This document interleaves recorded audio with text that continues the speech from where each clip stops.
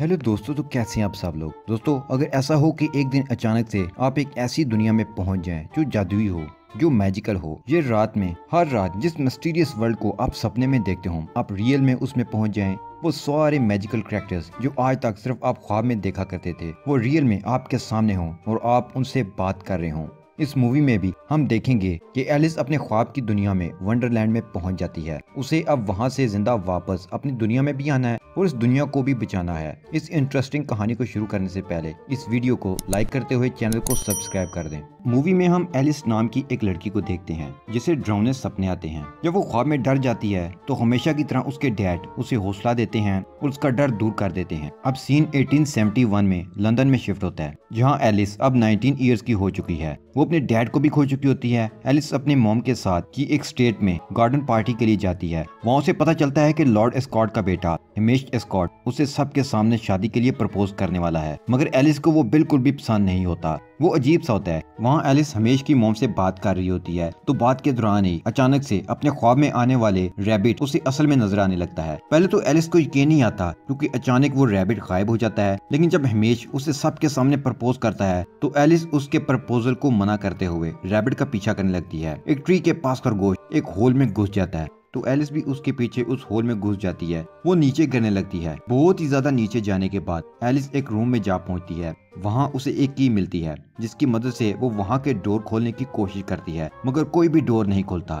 तभी उसे पर्दे के पीछे एक छोटा सा डोर मिलता है। वो उस की से खुल जाता है, मगर वहाँ प्रॉब्लम ये होता है कि वो दरवाज़ा तो छोटा था तो एलिस उसके अंदर से गुजर नहीं सकती थी। वो रूम की तलाशी लेती है। तो एलिस को वहाँ एक मिस्टीरियस बॉटल नज़र आती है, जिस पर ड्रिंक में लिखा होता है। उसे ड्रिंक करने के बाद एलिस का कद छोटा हो जाता है, मगर की मेज पर ही रह जाती है और उस तक पहुँचना मुश्किल हो रहा था। तो तभी उसे मेज के नीचे एक केक का टुकड़ा मिलता है, उस पर ईट मी लिखा होता है। उसे खाकर एलिस बड़ी हो जाती है। टेबल से की उठाते ही बोतल से लिक्विड पीकर उस डोर को पार कर लेती है, जिसके बाद वो वंडरलैंड नामी जगह के जादुई जंगल में पहुँच जाती है। वहाँ वो अजीब अजीब चीज़ें देखना शुरू कर देती है। उसे एक व्हाइट रैबिट डरमाउस डोडो और बोलने वाले फूल और आइडेंटिकल ट्विंस मिलते हैं। ऐसा लगता है कि जैसे वो सब पहले से ही एलिस को जानते हैं, वो सब बहस कर रहे होते हैं। कि वो राइट एलिस है या रॉन्ग एलिस उसे एब्जॉलम ब्लू कैटरपिलर के पास लेकर जाते हैं, जो अपना ऑरेकल खोलकर उनके सामने रख देता है। अर्कुलर एक कैलेंडर की तरह का स्क्रॉल है, जिसमें वंडरलैंड की हिस्ट्री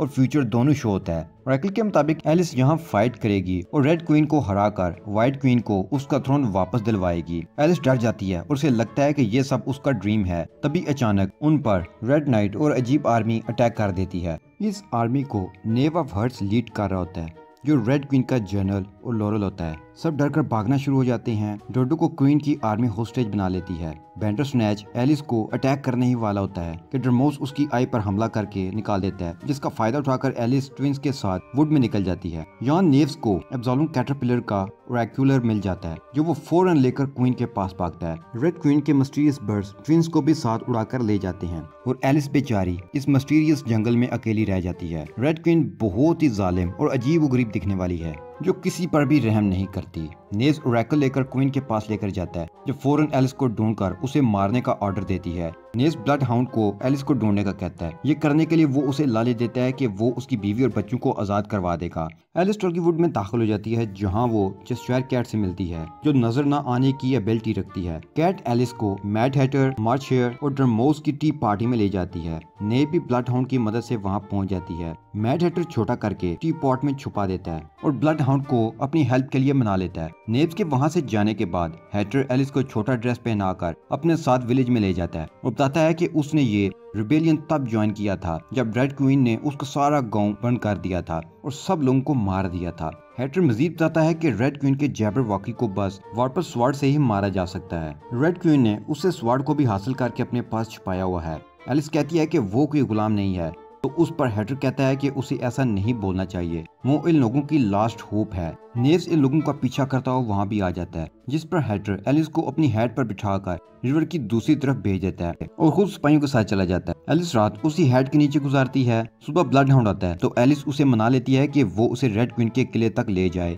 ताकि वो हैटर को उनसे बचा सके। किले के अंदर जाने के बाद एलिस एक स्ट्रीम के ऊपर से गुजरती है, जिसमें रेड क्वीन ने लोगों की लाशें फेंकी होती हैं। एलिस उनके मुँह के ऊपर से एक होल तक पहुँच जाती है और कैसल के अंदर चली जाती है। रेड क्वीन के किले पहुंचकर एलिस को वहाँ हेयर मिलता है, जो उसे केक देता है। एलिस उसे खाकर बहुत बड़ी हो जाती है और क्वीन की नज़र में आ जाती है।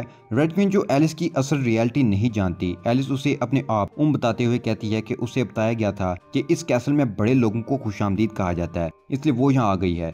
रेड क्वीन उसे अपना मेहमान बना लेती है। क्वीन ट्विंस को वहाँ बुलाकर दोनों को एंटरटेन करने को बोलती है, जो एलिस को पहचान लेती हैं, मगर एलिस इशारों में उन्हें चुप रहने को बोलती है। नेव्स वहाँ आता है तो क्वीन उसे हैटर को बुलाने का कहती है। हैटर के आने पर क्वीन उसके सर कटवाने का ऑर्डर देती है, मगर हैटर उसे मैनिपुलेट कर ही लेता है। वो उसके लिए बहुत प्यारी हेड्स बना सकता है, जिस पर क्वीन उसकी बातों में आकर उसे हेड बनाने का काम दे देती है। यहाँ ब्लड हाउंड व्हाइट क्वीन के पास एलिस के आने का मैसेज लेकर आता है। जिस पर व्हाइट क्वीन बहुत पुरुद हो जाती है और ब्लड हाउंड से कहती है कि एलिस जो भी कर रही है, उसे करने दो। उन्हें अपने स्लेयर पर यकीन रखने की ज़रूरत है। रेड क्वीन एलिस के वंडरलैंड में आने की वजह से बहुत परेशान है। वो नेव से कहती है कि उन्हें एलिस को मारना होगा, वरना वो अपना क्राउन खो देगी। यहाँ पर हम पर रिवील होता है कि नदी में जिन लोगों की लाशें हैं, वो कोई और नहीं, बल्कि इन क्वींस के पेरेंट्स हैं। रेड क्वींस और व्हाइट क्वीन सिस्टर्स हैं, लेकिन सबसे छोटी होने के बाद भी व्हाइट क्वीन को प्रेफर किया गया, जिसकी वजह से रेड क्वीन इतनी क्रूल और ड्रेंजस हो गई है कि रेड क्वीन कुछ भी हो जाए थ्रोन को नहीं खोना चाहती, क्योंकि उसे लगता है कि उस पर बस उसका ही हक है। इसी दौरान में वहाँ से हेयर उड़ैकल उठाकर ले जाता है। हैटर से मिलने पर वो एलिस को बताता है कि हेयर उड़ैकल लेकर उसका वेट कर रहा है। उसे वो लेकर सीधा व्हाइट क्वीन के पास जाना है।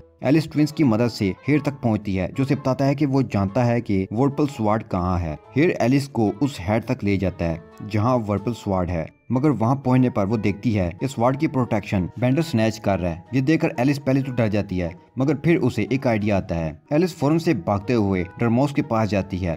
बैंडर नेच की आँख लेकर वापस हेड के पास जा रही होती है कि उसे नेव रोक लेता है, जो एलिस को हरास करने की कोशिश करता है, मगर एलिस उसे पुश करके वहाँ से निकल जाती है। नेव को ये करते रेड क्वीन की एक नौकरानी देख लेती है। एलिस आई लेकर बैंडर स्नैच के पास पहुँचती है और उसको वो आई दे देती है, जिसकी वजह से एलिस की उसके साथ दोस्ती हो जाती है। उसके बाद सवाल लेने जाती है तो वो देखती है कि वो एक चेस्ट में कैद है। जिसकी चाबी बैंडरस्नैच के गले में है। बैंडरस्नैच एलिस पर हमला करने आता है तो एलिस उसे अपना खून दिखाती है, जो बैंडरस्नैच ने उसे पहले दिया था। वो बुरा फील करते हुए एलिस को प्यार करता है और की भी लेने देता है। एलिस स्वाड को हेडर के पास पहुँचा देती है, जहाँ क्वीन को नेव की हरकत का पता चल जाता है, जिस पर वो नेव को पूछती है। नेव सारा इल्ज़ाम एलिस पर डाल देता है। ये सुनकर क्वीन एलिस को मारने का ऑर्डर देती है। जब नेव सिपाहियों को लेकर एलिस के पास पहुँचता है तो उसे पता चलता है कि वही असली एलिस है, जो व्हाइट क्वीन का स्लेयर बनकर रेड क्वीन को हराएगी। नेस एलिस पर हमला करने वाला होता है। कि हेटर और ड्रमाउस उसे कवर करते हुए वहाँ से जाने को कहते हैं, मगर नेस सबको अलर्ट कर देता है, पाई उसे चारों तरफ़ से घेर देते हैं,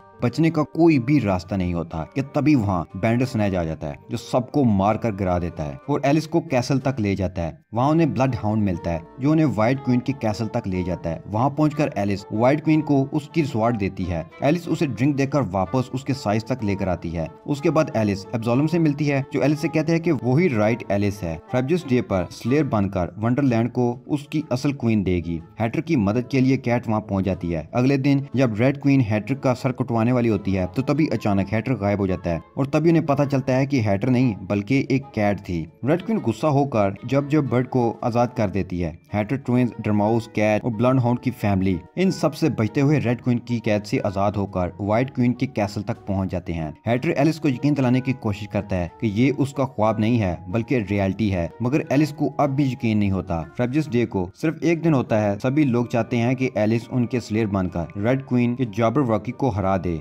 व्हाइट क्वीन एलिस को कहती है कि वो सोच समझकर फैसला ले, क्योंकि इसमें उसकी जान भी जा सकती है। और एक बार ये ज़िम्मेदारी लेने के बाद वो पीछे नहीं हट सकती। एलिस डर जाती है और वहाँ से भाग जाती है जाकी एब्जॉलम से मिलती है, जो अपना कैटरपिलर का वक्त पूरा होने पर ट्रांसफॉर्म होने ही वाला होता है। वो उसे याद करवाता है कि जो ख्वाब, जो ड्रीम वो बचपन से देख रही थी, वो उसका ड्रीम नहीं था। बल्कि रियलिटी थी। एलिस बचपन में ही वंडरलैंड आ चुकी है। इसलिए सब उसे जानते हैं और सब उसका वेट कर रहे थे। और जब वो यहाँ से वापस अपने वर्ल्ड में गई तो सब एक याद बनकर रह गया और वो ड्रीम की तरफ़ रिफ्रेश होती रही। फ्रेबजिस डे पर फाइट के लिए रेडी होकर निकल रही होती है। व्हाइट क्वीन और उसकी आर्मी को लगता है की उन्हें अपने स्लेयर के बगैर ही वहाँ जाना होगा। तो एलिस भी बैंडर स्नैच पर बैठकर सूट ऑफ़ आर्मर में वोलोस वार्ड लेकर लड़ाई के लिए वहाँ पहुँच जाती है। दोनों आर्मी चेस बोर्ड की तरह के जंग के मैदान में पहुँचती है, जहाँ व्हाइट क्वीन रेड क्वीन को समझाने की कोशिश करती है की लड़ाई नहीं करनी चाहिए, लेकिन रेड क्वीन कुछ भी सुनने के लिए रेडी नहीं थी। वो अपनी जैबर वॉकी को लड़ाई के लिए मैदान में ले आती है।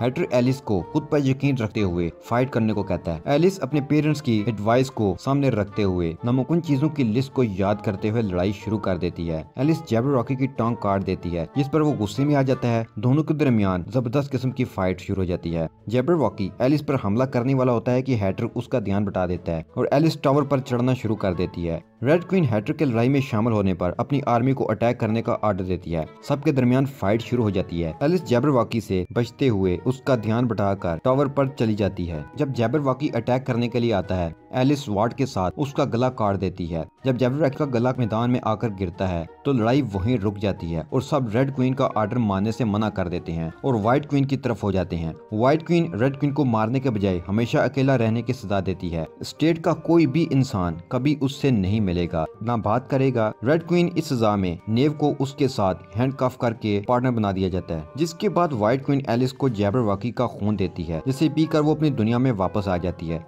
जहाँ एलिस इमेज को शादी से मना करके उसके डैड के साथ बिज़नेस डिस्कस करने के लिए चली जाती है। एलिस लॉर्ड स्कॉट को अपने हांगकांग के साथ बिज़नेस के तरीकों से मुतासर कर देती है। आखिरी सीन में वो एक बिज़नेस शिप में जा रही होती है। तभी एक ब्यूटीफुल ब्लू बटरफ्लाई आकर उसके शोल्डर पर बैठ जाती है। एलिस को लगता है कि वो एब्जॉलम है, जो अपनी ट्रांसफॉर्मेशन मुकम्मल कर चुका है। एलिस उसे स्माइल देती है और यहीं ये मूवी खत्म हो जाती है।